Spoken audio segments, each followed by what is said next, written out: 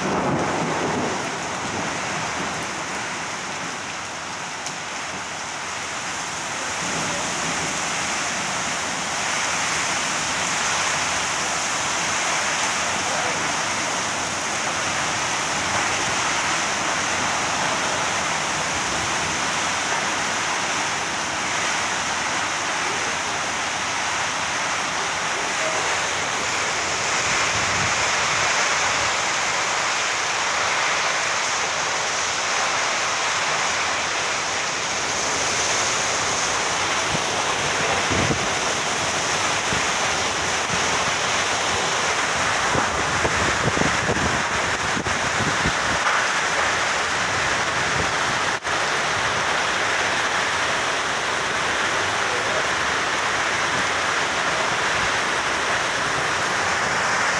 parece que o coqueiro vai até virado.